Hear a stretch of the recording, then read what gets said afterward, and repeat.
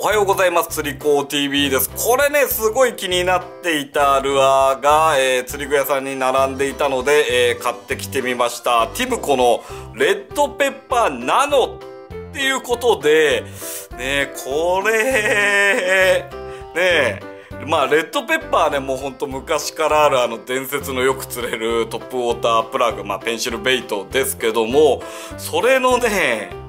なのっていうことでこりゃ1個ね買っとかなきゃなと思ってねこんな感じのパッケージに入ってるんですけども、えー、早速開けていきたいと思いますが、えー、価格はね1個1080円っていうことで非常にね、あのー、お求めやすい価格のルアーじゃないかななんていうふうに思いますけどもこういうちっちゃいルアーの方がね作るのね大変だと思うんですけどね。1080円にね値段を抑えてきたっていうのはねこれすごいななんて思いますけど。はい。出てきました。この可愛らしい小さなボディ。もうこの指先にチョコリンって乗っちゃうようなこういうサイズ感。ね。あー。で針もねすごいこれ何番になるんだろう。なんか信じられないぐらい小さなね精巧なトリプルフックがついてますけどもスプリットリングも小型ですね。で愛の部分も小型でねこういう小さな愛で。でもねカラーリング綺麗だし小さな目もついてますしレッドペッパーしてるんですよね。あこれはね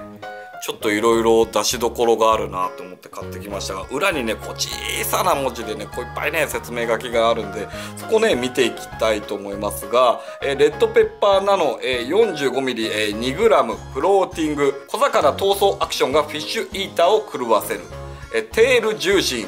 直立系ペンシルベイトの先駆けレッドペッパーシリーズ。発売以来定番ペンシルベイトとしての、え地位を築いてきたレッドペッパー。小魚闘争アクションと呼ばれる独特の動きがバスのみならず淡水や海の全てのフィッシュイーターを魅了し続けてきました。小さくてそれでいてキビキビと鋭く水面でもがく様はどこから見てもまさに小魚。高速リトリーブや高速トゥイッチによるサーチベイト的な使い方はもちろんじっくりと見せて食わせる使い方など使い手の技術と想像力に合わせて反応します。レッドペッパーシリーズはバスのみならず、えー、カンツリトラウトや海のメッキシーラまでルアーフィッシングの超定番ルアーですってことでまずね、えー、びっくりなのが重さがね 2g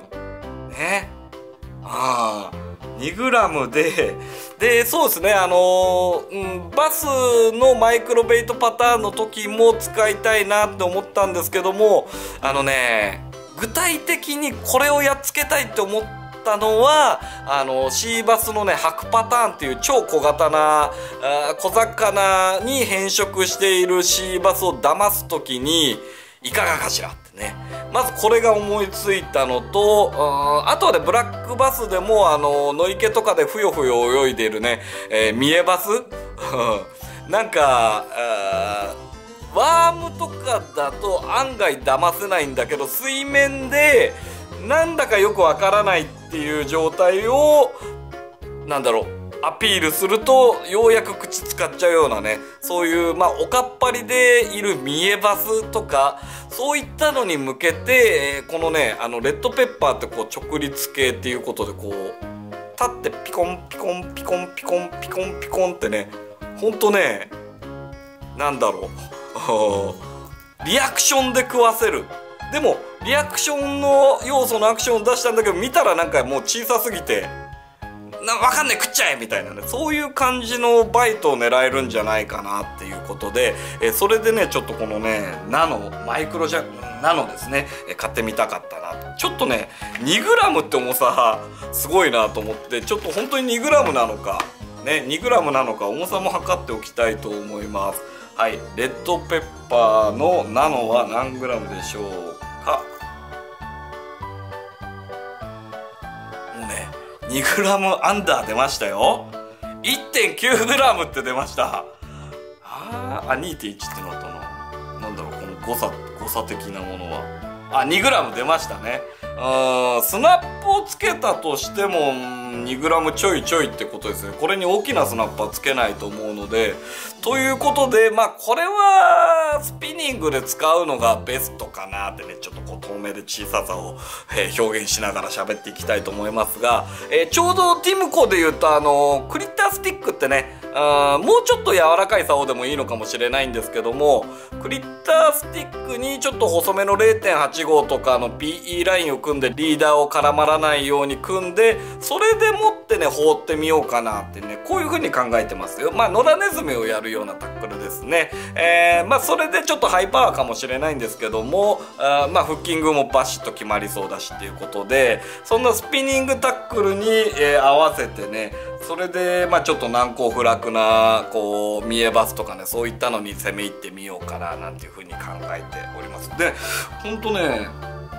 メッキ釣りも好きだしねシーラまで狙えちゃうんですかね。まあ管理釣りマもたまに行くから缶釣りなんかでも使えるし。だから1個買っておくとなんかバス釣り以外もやるよなんていう人はねどの釣りにもね対応してくれそうだなっていうところともちろんねバス釣りにもっていうことで、えー、一つねあのボックスに忍ばしておいてはいかがでしょうか。というわけで本日の釣り子 TV はこちら、えー、ティムコから新しく出たですね超マイクロサイズな、え、ペンシルベイト、え、レッドペッパーナノ。これを買ってきて開封してみてってこういった動画でした。はい釣り子 TV でした。